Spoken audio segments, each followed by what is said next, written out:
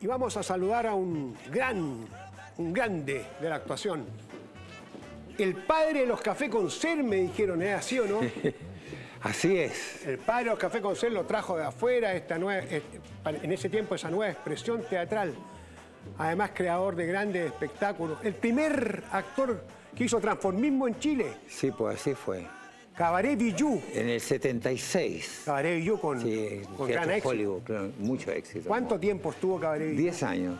Diez años. Y después hizo el Caupolicán, Caupolicán lleno. Sí, pues 40 días seguidos en el Caupolicán.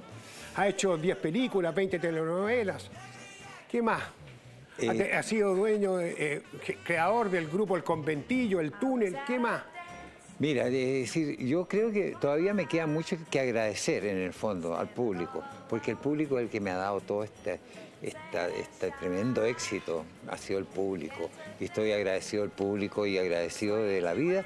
Entonces, lo que, lo que, lo que viene ahora es la generosidad en dar lo que, lo que Dios me dio, es- esa capacidad histriónica, la capacidad de ser intérprete y, ver cómo la gente goza con, con ese, esa cualidad que tengo y que, y que no sé de dónde salió.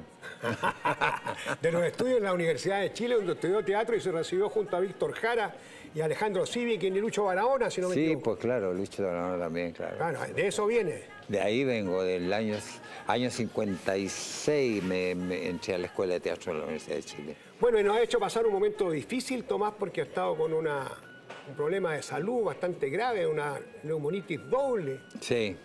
Pero ya pasó y ya, ya Pero- pasó y no, no voy a seguirme colgando de la, de No, la neumonitis si para que me hagan entrevistas. Estos nueve años, estos nueve días, perdón, Sí. que tú estuviste, ¿recuerdas algo de eso o nada? No, nada, nada, por eso mismo. Pero ya, pero yo creo que, mira, uno tiene un- una misión en la vida y creo que mi misión era seguir aquí. Y por eso estoy aquí y por eso voy a seguir haciendo Los Viejos de Mierda, que ahora vamos al, al Teatro Nescafé de las Artes el 26 de este mes. Hacemos 26, 27, 28, 29 en el Nescafé de las Artes con Viejos de Mierda, con Jaime Badel, Coco Legrand y yo. Y bueno, y con esa producción maravillosa que tenemos funcionando desde, la, desde 19 del 2016. Correcto, pero tú tienes que cuidarte.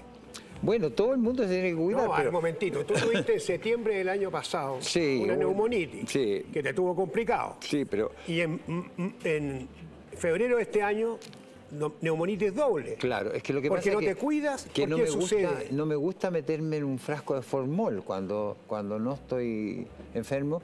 Hago la vida normal que hace todo el mundo y vivimos en un país como Chile que está lleno de virus y lleno de, de microbios. Y bueno, me, Pero no estabas leyendo un libro, tú en una terraza, te quedaste dormido y te... y- Me quedé dormido, claro, me quedé dormido. vino un enfriamiento? Y, no, y la temperatura baja en Viña en febrero. Estuvo, la temperatura había 28 grados en la, la tarde y en la noche bajaba a 8.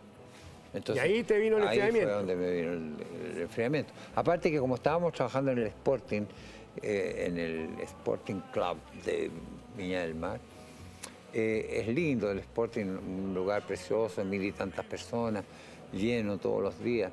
Eh, pero salíamos del escenario y salíamos a un pasillo eh, con árboles, con cosas que se- para ir a los camarines. Y ese paso de ahí También a, la- influyó. a las 12 de la noche, claro, era, era una cosa más o menos. Y cuando tú despiertas después, ¿te cuentan que tuviste nueve días inconsciente? Sí, sí, me contaron. ¿Y, y- y- y sentiste alguna sensación especial? Porque te borraste nueve días de la vida. No, lo fantástico es, lo fantástico, ¿me entiendes? Es que uno no se da cuenta de nada. Entonces, como no me di cuenta de nada, no puedo decir que, que lo pasé mal o que lo pasé bien. pues. ¿Pero viviste algún momento crítico que te sentiste no, complicado? no, no, yo no sentí ni fiebre ni nada, ni- nada. Ya cuando te recuperaste, empezaste la recuperación total, digamos. No, ahí empecé como para arriba, como avión, eh, tratando de, de- de alimentarme bien. me- bueno, siempre me he alimentado bien, pues, pero tratando de, de comer eh, proteínas y cosas que me para recuperar la masa muscular que pierde tanto uno cuando... cuando ¿Le temes a la muerte tú? No, No, es un proceso. La muerte es un proceso como, la vida, como el nacimiento. El nacimiento es uno y la, muerte es otro. Son dos procesos. Yo creo en la vida eterna, además. Yo creo en el espíritu. Yo creo que el espíritu no muere nunca. Y, o sea, ¿hay vida después de la vida? Sí, yo creo. Yo creo que es otro tipo de vida, una vida tal vez más, eh, más abstracta. ¿Quién te acompañó muy de cerca? Mi hermana, mi hermana Eliana, mi hermano Antonio.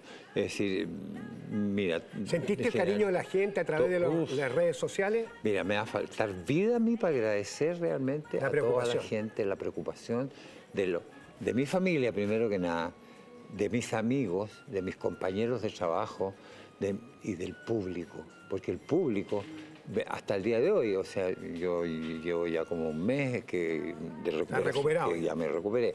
Eh, pero el público, como en la calle, en todas partes, el gallo que está barriendo la calle, el gallo que está vendiendo diario, la señora que va en el Mercedes-Benz, eh, todo, el mundo, de, de Capitán Paje, todo el mundo eh, con un cariño tremendamente grande. ¿Qué sensación tuviste cuando comprobaste que eras querido por la gente por estas manifestaciones? Ya la sorpresa. ¿No, lo pensabas? La, sorpresa del mundo, porque tú no, uno no piensa, uno hace las cosas. Yo hago esta profesión por amor. Yo la hago prescindiendo de la plata que gane o no gane. Es decir, esta profesión la hago por amor realmente. Y, y es un deber que tengo yo para, para este paso por el mundo que tengo hoy estoy pasando por este mundo y estoy tratando de entregar lo mejor que Dios me dio, que es el, talento, esta capacidad histriónica, esta capacidad de poder hacer distintos roles y con eso entretener a la gente y darle momentos de felicidad a la gente. Una pregunta que tengo que hacerte, pero la situación económica, ¿cómo estuvo? Porque esto tiene un costo, esta enfermedad, me imagino que... Bueno, la ISAPRES, tengo una muy buena... Ah, tú tienes una buena previsión. Una buena previsión. Cosa que no pasa en los artistas generalmente. No, no, tengo una buena previsión que eh, me sale bien cara mensualmente, pero... Pero te salvó esta situación también. Sí, claro, sí. ¿Cuánto habría salido el tratamiento? Y no sé, mira, entre 30 y... Más de 30 millones. Sí, como 30 millones. ¿Y no pagaste nada? Nada. ¿Algún tratamiento especial una vez recuperado? ¿Tienes que no, observar? No, pasarlo bien nomás. ¿Sí? ¿Eso te dijo el doctor? páselo bien, me páselo, no, páselo bien. No, y, yo realmente tengo una vida muy buena en el sentido que hago lo que, lo que escogí hacer. Entonces imagínate, poder hacer lo que tú escogiste hacer en la vida, creo que, que es una es, una bendición del cielo. No toda la gente en este mundo puede hacer lo que, lo que quiere hacer.